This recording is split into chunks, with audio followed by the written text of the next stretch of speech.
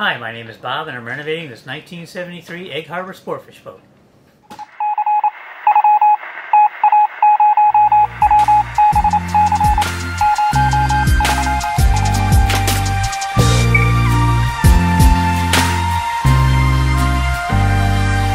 Well, hello everyone. Welcome to Renovation Sportfish. Now, in this episode, we kick off all the work that's going on here in the cockpit. Now, it's a ton of work. Um, a previous episode, I can't remember what the number is, I'll put it up here on the screen for you here, but uh, we tore everything out. And uh, all the framing, everything, I had to cut it all out. And I spent the majority of the year 2019, and up till right now, trying to put this thing back together. Now, I'm far from done. Uh, this is uh, this video is probably going to come out in April sometime, uh, and I still have a ton of work to do. Uh, it's going to take me probably the whole summer of 2020 to get this thing done. So uh, hopefully you don't get too bored with it because it's going to be a long haul for us, for me in particular because I'm doing the work, but even for you following along. So I understand if I'll try to do maybe some videos in between here to um, do some other things just to break it up. I have a, lot, a couple little projects I can work on and um, do that. But we'll see if that happens or not. I mean, I just wing this whole thing. So anyways, I am standing on something, so there is something as for a deck uh, finished at this point. But um, we're starting this one off with just the beginning where I started um, some of the framing. So um, let's kick it off and um, do some boat building. So in the early stages of this part of the project, um, it was in the beginning of the year, so it was uh, January, February of 2019. And of course, it's winter here in Connecticut, and um, it's kind of cold. But I did manage to get some of the framing done. Now, this was before YouTube and thinking of YouTube, so it's basically uh, some pictures.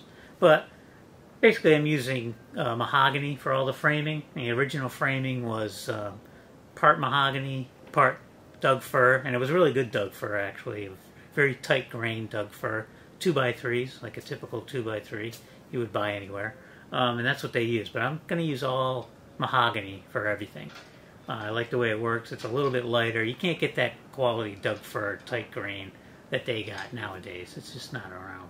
So I'm just, just going to stick with mahogany for, for all the framing. So everything you see is mahogany.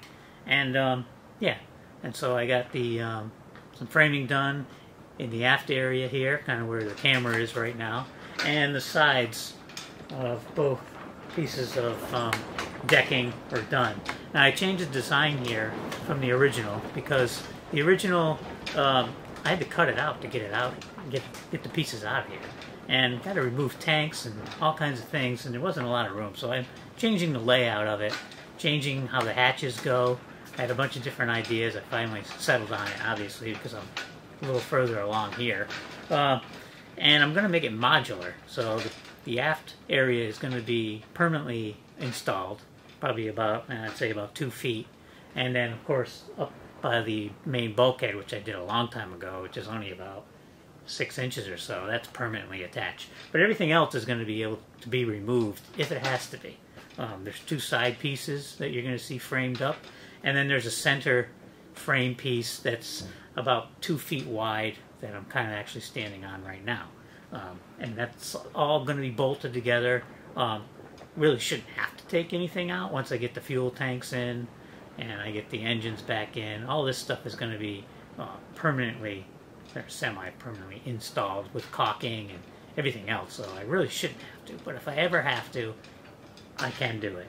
And take just taking this center section out to remove engines or to have a lot of room to work would be great if I had a major project to do. Uh, hoping I never have to, but it's going to be uh, designed that way.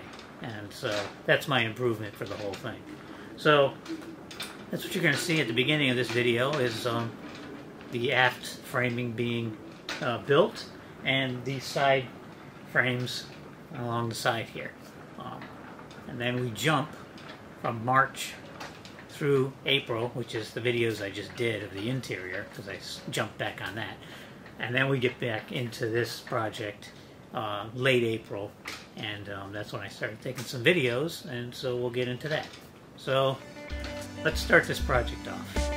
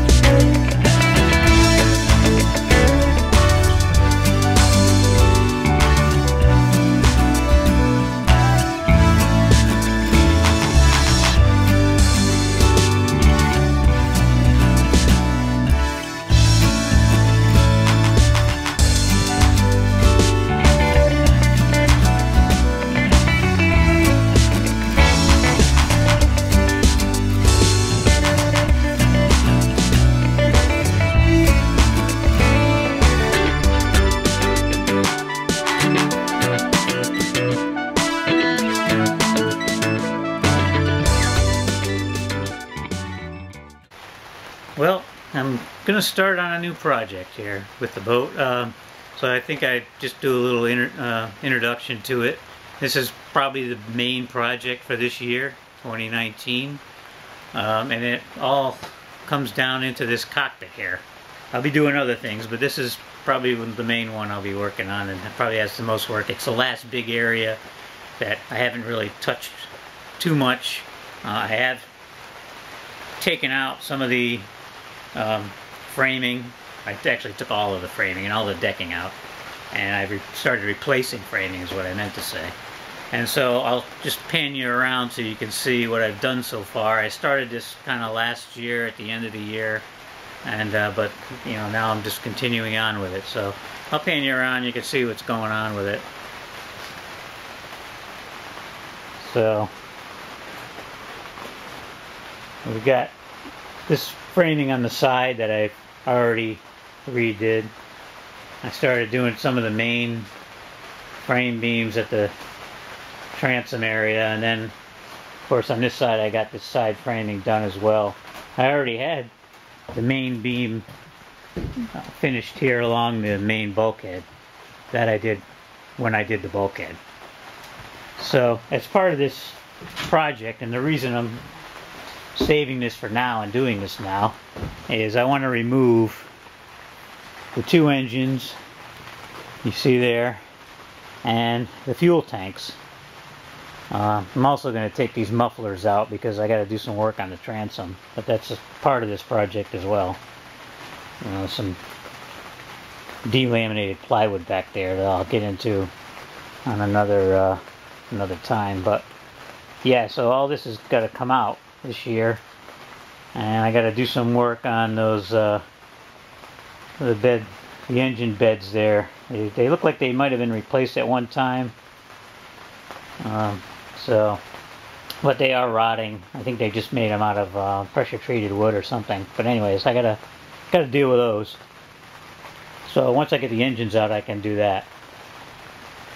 But in the meantime, I can't really get these engines out right now. I'm all kind of blocked in with other boats, and they're never going to be able to help me get this get these things out of here with their lift and tractors and stuff. So, and I'm the tanks still have fuel in them, old fuel, so I have to have those emptied out at some time and they're not going to be able to get a truck in here or anything to do that right now until some of these boats around me go back into the water for the year. So in the meantime, I'm going to um, work on this framing. And now that they got the two side pieces done, I'm going to work on a piece that's going to be right in the center. So today I'm going to um, start laying in. You see the pieces laying on the side piece there. Those are going to be the main cross pieces uh, that they're already cut with a camber on them on the top and so I'm just going to have to figure out where I want to put these two pieces in this area. I do have a sketch of it, drawing of it that I did. I probably will, probably will be following the dimensions on that drawing, but I may not. It all depends on where things lie and, and line up. So let's get started with it. So the first thing I have to do here, and I apologize, the audio might not be too great. I'm going to try to speak up because it's raining and it's, it's all I can hear on the uh, shrink wrap here. But I'm working by myself like I always do.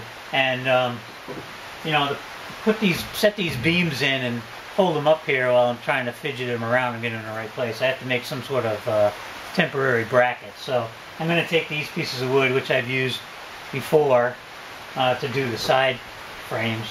Um, I put a couple screws in here, but for today I'm probably just going to clamp it on. And I'll clamp it on this way. And then I need another piece to be like a 90 degree piece.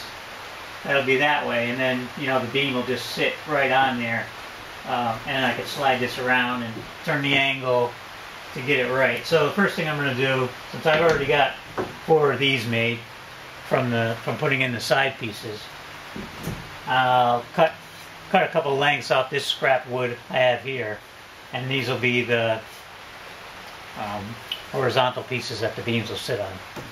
So let's go do that. So I had one of these already cut from a previous clamp I made, so I'm just going to uh, copy, copy here.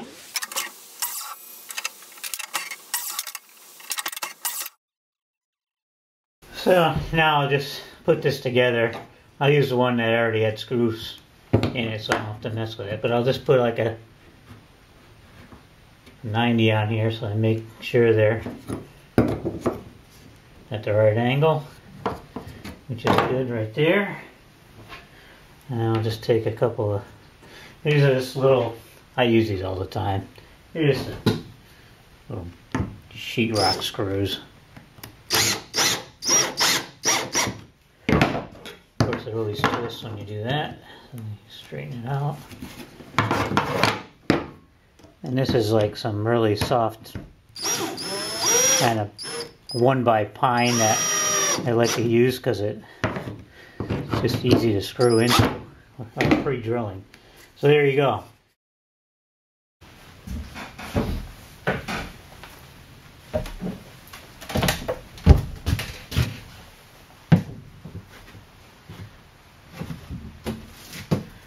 So now we got uh, now we got our pieces here. I brought my little uh, 90 with me. And uh, yeah, so now I'll put two on this side and put two over there. Uh, yeah, and so I just have to measure back how far I want these things. I'll, I'll just clamp them on for now. Uh, and then I'll put another one back here uh, for this side. So now I'm going to uh, just measure back to where I want to install these, the, front face of the beam. Uh, I think my drawing said 43 inches. Unfortunately, I didn't bring my drawing today, so I'm just working from memory. But I'm not putting anything in permanent anyway, so it doesn't matter. I'll change it if I have to. So I just, I could use a tape measure, but I had this long steel rule, so I just clamped it on that end so it doesn't move around. Uh, and I just mark it here at 43 once I've marked it at 43 inches, then I'm just going to make a perpendicular line down on this this piece here. So I know my I want my face of my beam to line up with that. So I'll do it on the other side, and I'll do another line back behind me here to represent the uh, the, the the aft beam that I'm going to be putting in. So I have all my marks and then I can uh, start putting in my clamps. So the other nice thing about using this um, steel rule here is I don't have to fumble around with a tape measure I'm by myself. In this case it works nice it's just laying flat on here. So I think the, the distance between the two faces is going to be um, two feet. And so that's what I'm going to measure out to. But I'm going to have to double check that before I worry about that. So, um, yeah. So they actually ended up going home on my lunch break and getting my plan because I didn't want to guess about this thing. So anyways, here's my plan. And I'm really looking at this center section right here.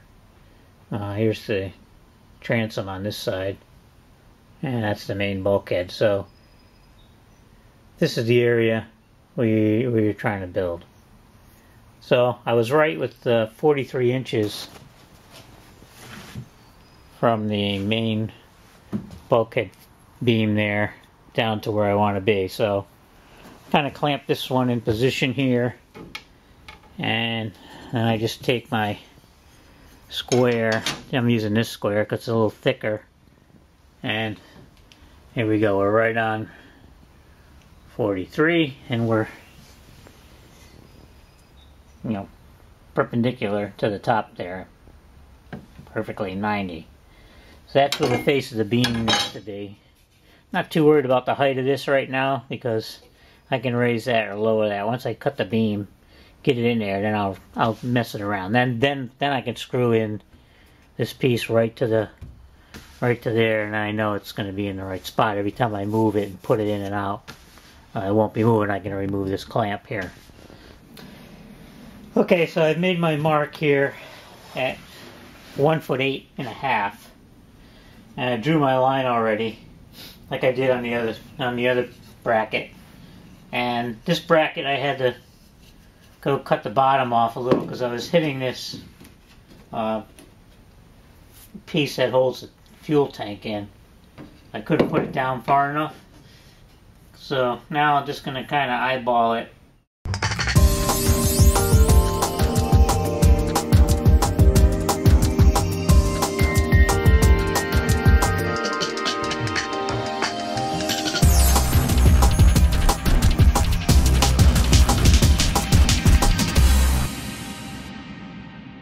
So now I have to cut this end of this beam here and it's three foot six um, to the end from the center. So I had this set up, that's three foot six, but I want a space on the edge and these are some spacers that I made that I've been using um, to give it a little room to move, you know, to, to get it in and out.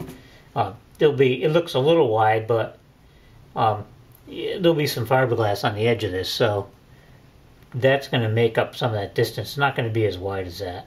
But even if it was that wide, it's going to be a caulk joint anyway, so. Um, but this is what I'm going to use, and I'm going to keep using it. So, uh, that's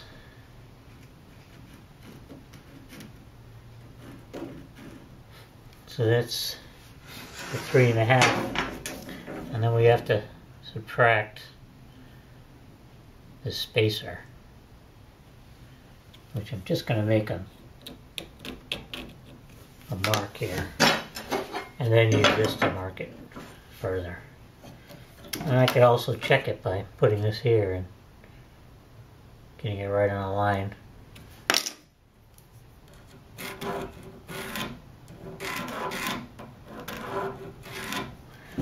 So that's going to cut. I cut it there. I should have this much space on each end. Do that same measurement on both sides.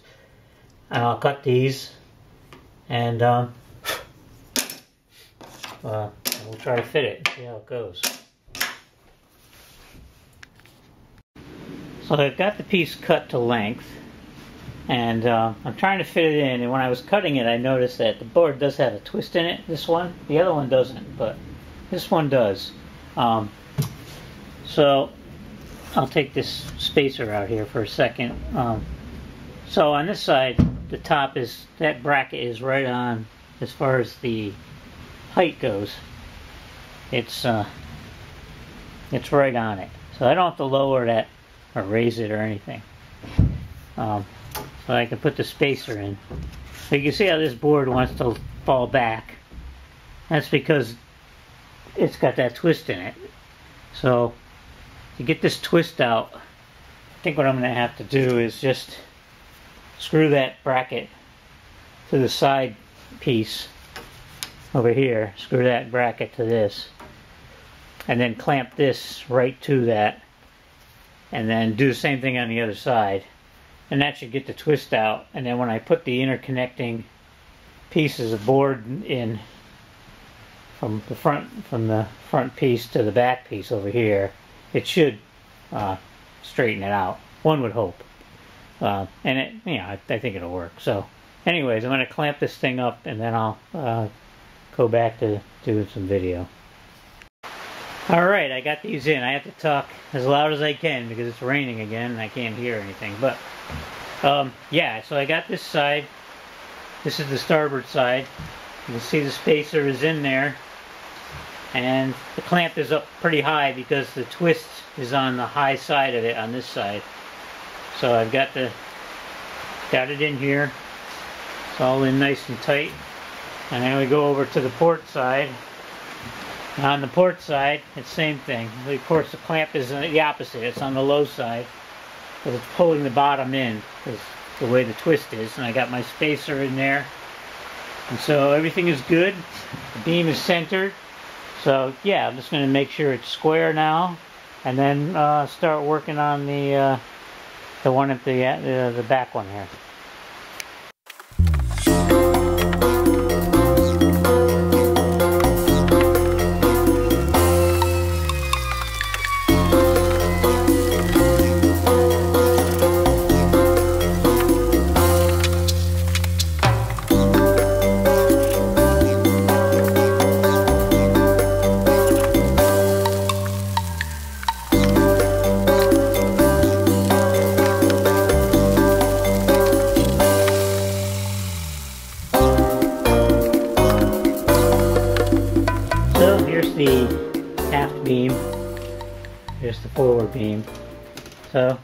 Fitting in nice. This one didn't have any twist. I don't even have it clamped.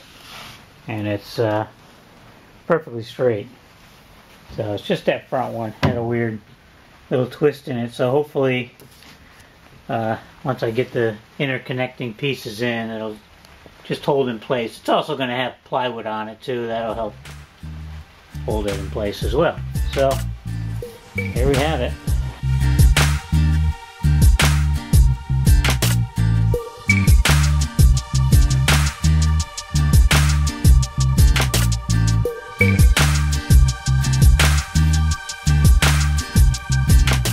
Thanks for watching. Hope you enjoyed it and you come back for the next one. So until then, have a good one and we'll see you real soon right here on Renovation Sport.